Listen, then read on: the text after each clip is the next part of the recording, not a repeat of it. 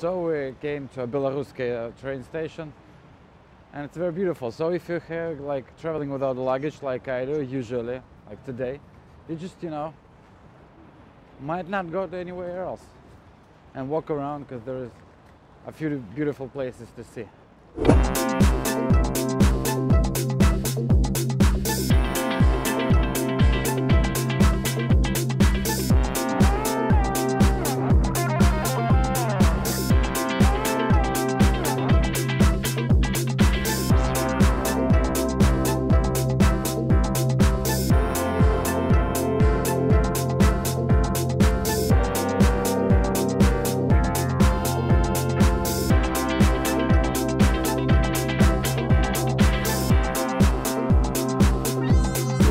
One minute from Belaruska and there is a quiet, a little bit more quiet kind of square and there's absolutely brand new, absolutely brand new office buildings and some other things. So even if you're like, you know, passing Moscow and you have like four hours of changing the flight, you just can take a Air Express, came by here, came by, yeah, stop by here, go back from Belaruska as well. So we need to show you how the uh, Air Express looks like. It will be hard because no filming, no shooting, you know, the guards and security everywhere like, oh my god.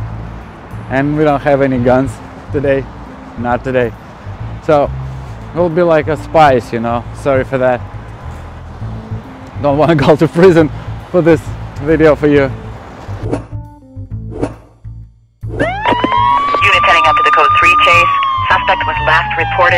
No filming everywhere. I don't know why, but it's one of the rules. When we was talking about security, for example, this is a real example of how it works in a good way. Uh, nobody was rough, nobody was offensive. They don't say like delete everything. It's just there is laws that forbidden to make filming, professional filming, anywhere you want to, like a metro stations. Uh, it's maybe I don't want to say these words, but there is like rule. Okay.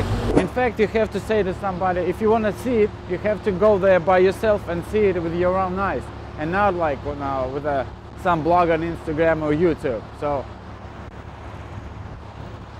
let's go to airport now.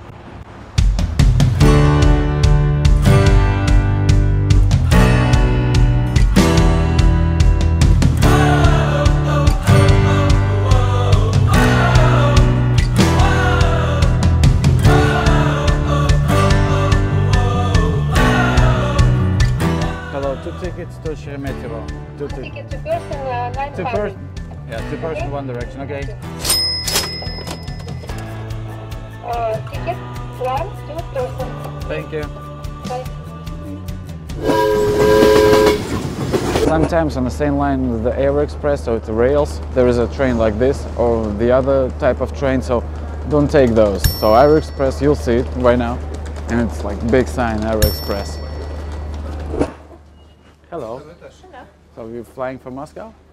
Uh, yeah, back to Italy. Oh, did you like staying in Moscow? Yeah. Give me a five, man. Thank you. I had a beautiful Italian girl, and she said she's like being in Moscow, but now she's leaving. So let's go find a secret place for a weekend chat.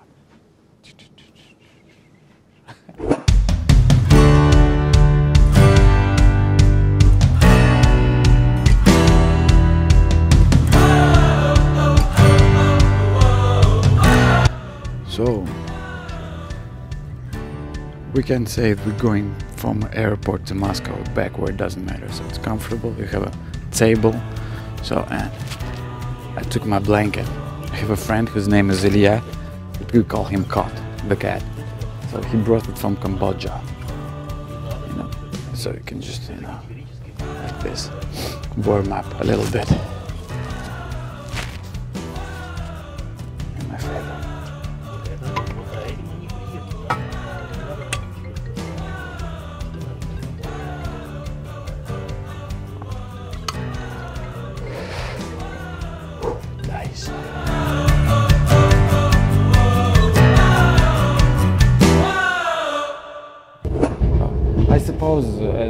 as anybody else, you have a cell phone, like a smartphone, or, or another type of gadget with internet.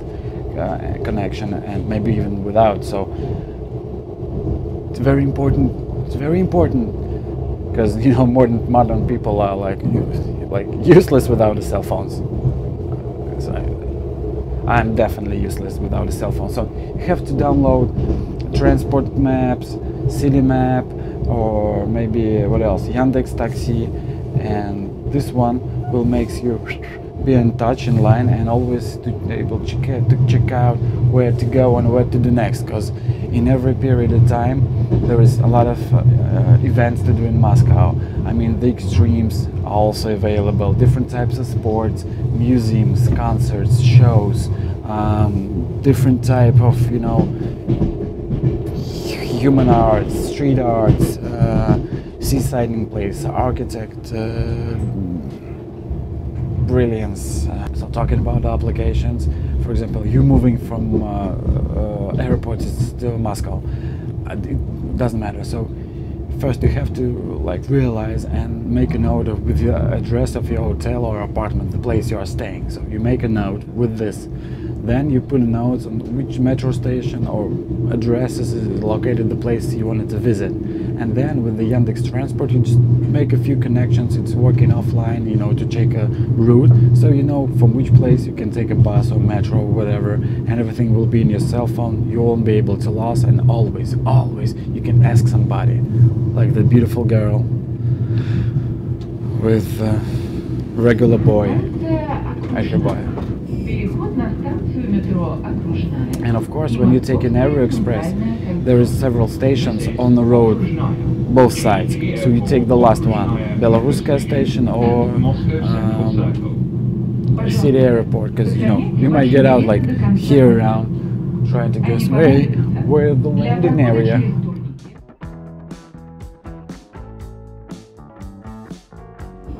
It's just if you don't have like Ferraris, you're living in here. We're almost like outside the Moscow, so it's uh, there's maybe nothing for you to watch as a tourist, but also it's a safe, you know. So no worries if you feel that you're in like district like this, like no problems at all. Just you know, run and that's it. No, I'm just kidding, just kidding. Call the police. I'm just kidding again. No, doing nothing. I mean, it's, it's, just not as beautiful as center, but it's also safe and cultural. And the people here are very great and wealthy. Yeah, most of them. Because if you're not wealthy, you won't be able to survive in Moscow. That's why I'm leaving now.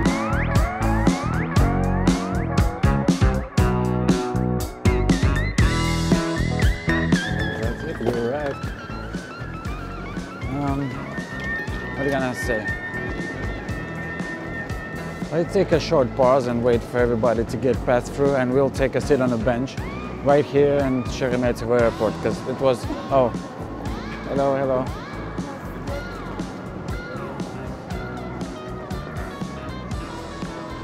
So everybody is friendly and only the security is the only guy who's like not like doing like this and going stop it like this. So everybody was like hey. The station is a little bit reminds me of Harry Potter and Deathly Hallows episode when he was like kicked the, ball on the Voldemort under the bench like like crying like a baby and there is Dumbledore with his like you know unobviously answers like hey Dumbledore am I dead? Who knows Harry? Who knows? Just quit it man. Just tell me. But there is no white light so I'm feel like safe and uh, the thing is that we're not able to film in airports, but uh, there is always a sign. I don't even like know what to tell you about it because you got to be kidding me if you won't be able to find your way through. So let's go back to Moscow. Okay, one for me, and this is for you. Oh.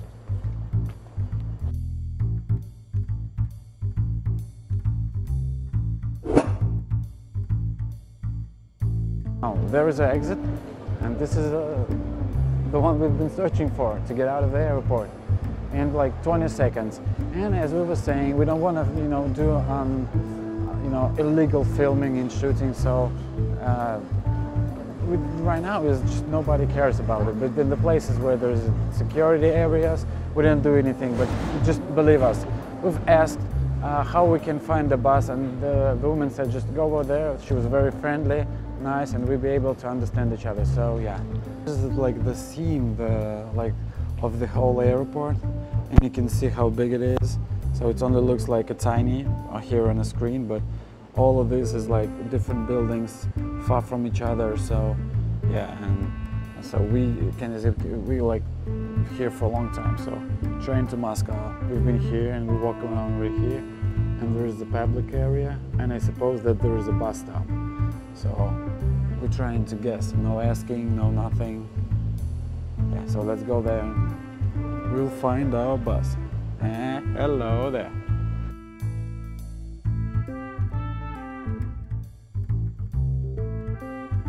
Sorry, can you tell please where is the bus stop to Moscow? A bus stop, not a Air Express. Bus Bus stop, bus station.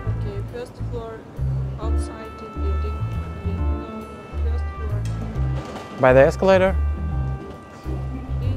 Oh, okay. And over there. Thank you.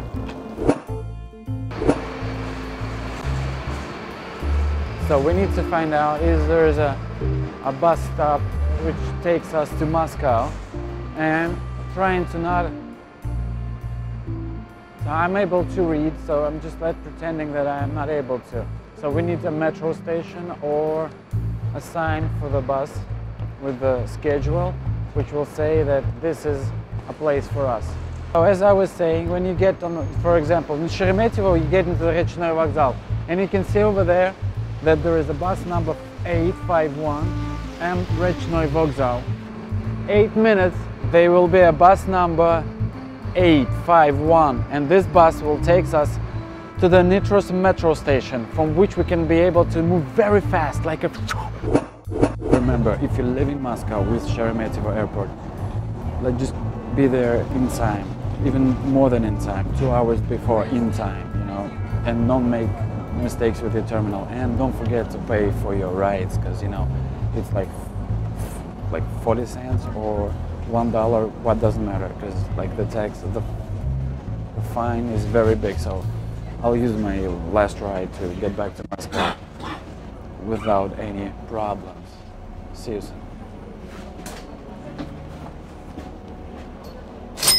and that's it. So you just put the card like everywhere in the world and everything done.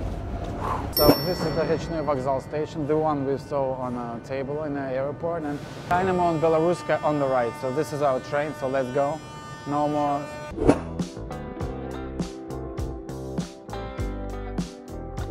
Now, you know, last time we've called a cab, it was like the cheapest one, and the guy didn't speak English, so nothing interesting. Today we've tried like a premium class of cars, so we've called for a Mercedes now, and we'll wait for it uh, for three minutes. So, see you soon.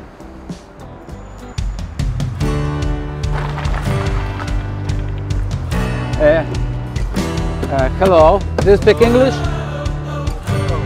Uh, so we need to drive and we have a camera like a video blogging. Is it okay? So take a seat.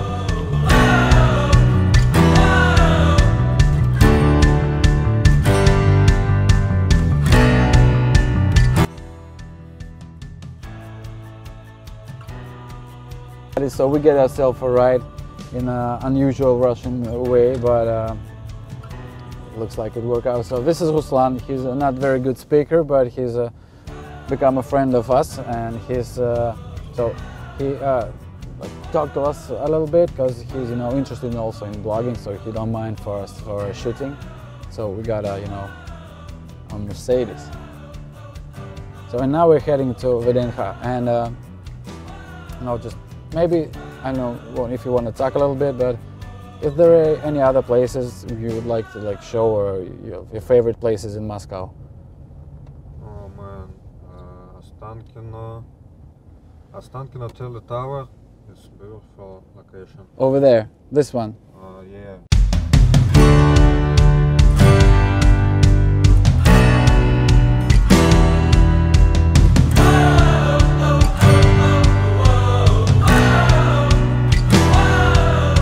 This is one of my favorites. This is the map of uh, So we are just here and there's this building over there and there's a park as I've been telling also area around it. But this one is look like Millennium Falcon from Star Wars.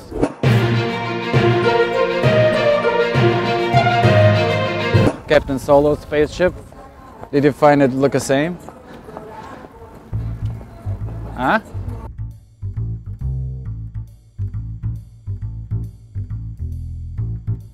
This is the biggest skating ring in Russia, maybe one in the world. It's uh, very beautiful, a lot of flights, not many people, so there's an empty space for everybody, you know, to have a comfortable skating. And uh, I'm thinking maybe to step inside one day, because you know, sometimes people living nearby the ocean don't swim in the oceans for three years.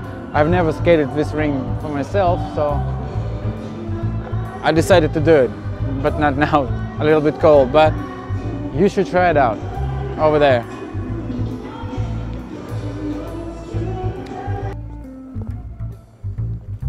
Hey everybody. This is our, little tour in VDNH, as I was saying, little demonstration, demo version. So take a place, step inside by yourself and spend all the time you have in there because it is amazing. And I highly recommend you to go inside and take a try out on skating ring.